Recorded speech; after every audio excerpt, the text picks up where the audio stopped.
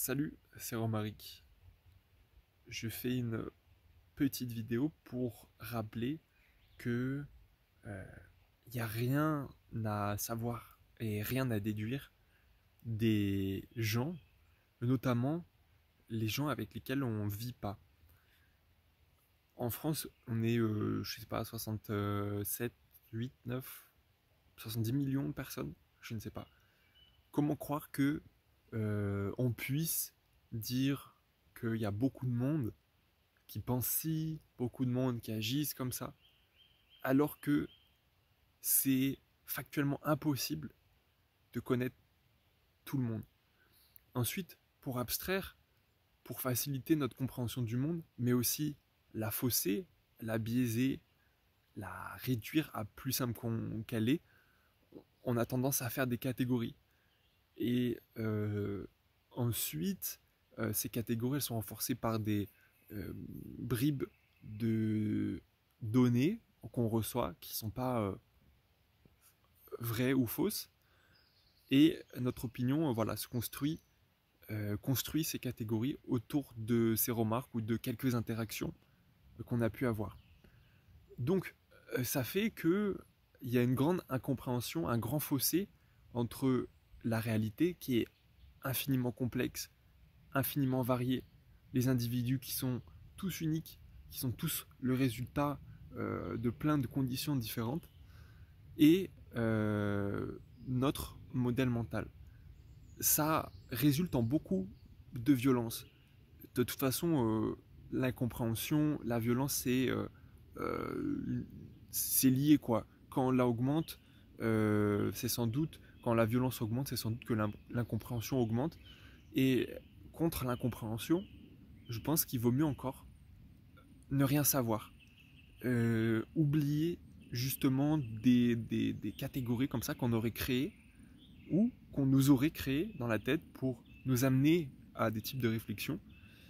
Euh, déconstruire ça, oublier que telle catégorie qui existe même pas, de gens euh, auraient tel comportement, euh, auraient telles attentes, etc.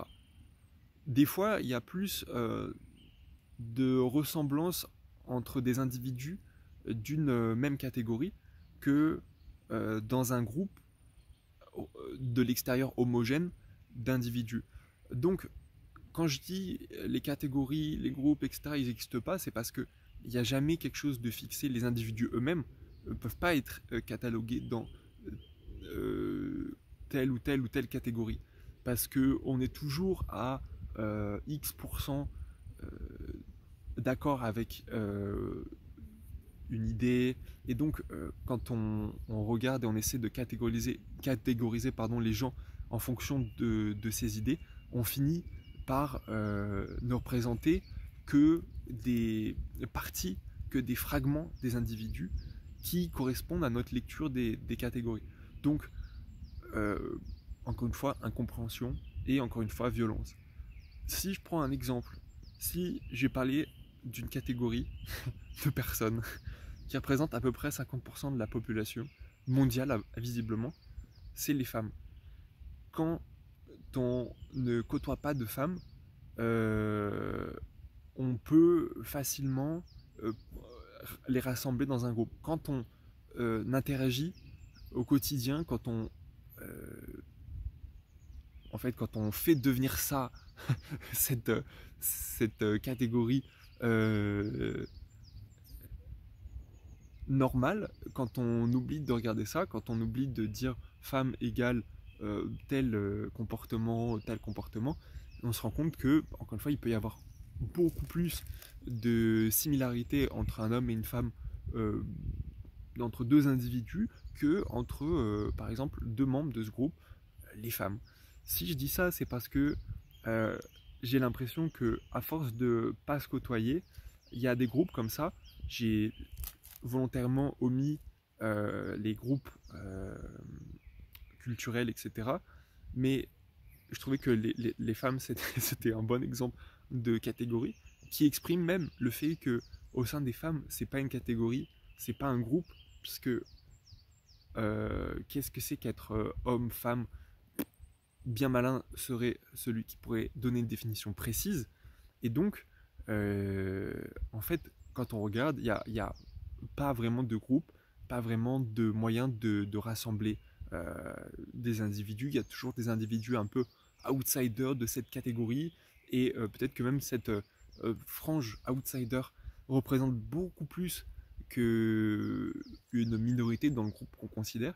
Et donc, encore une fois, incompréhension, violence. Pourquoi? Bah Parce qu'en fait, on attend des choses euh, des, gens qu'on a, qu'on a mis dans des catégories, et quand ils euh, ne se comportent pas euh, comme on, l'espère, ça, bien sûr, va titiller ce, cette résistance au changement, le fait qu'on veuille faire coller la réalité avec la façon dont notre modèle mental est construit, et non pas l'inverse, ce qui est l'inverse donc de la sagesse. Et euh, on peut avoir cette tendance à euh, empêcher l'expression réelle de l'individu, le contraindre à euh, le résumé d'une personnalité auquel il peut même se sentir complètement étranger, uniquement parce que nous, on l'a associé à ça. Et ça peut aussi engendrer les comportements qu'on s'attend à voir. C'est-à-dire que si à force de considérer que tel individu euh, a telle lacune ou telle euh, qualité, on finit par le convaincre et euh, cet individu devient l'archétype et, perd son lien l'individualité. Mais je pense qu'il faut que je coupe cette vidéo parce que là c'est complètement un autre sujet et que je pourrais presque teaser par pourquoi on ne peut pas être soi pourquoi euh, on est un peu formé par les attentes des autres comme euh, condition de l'environnement.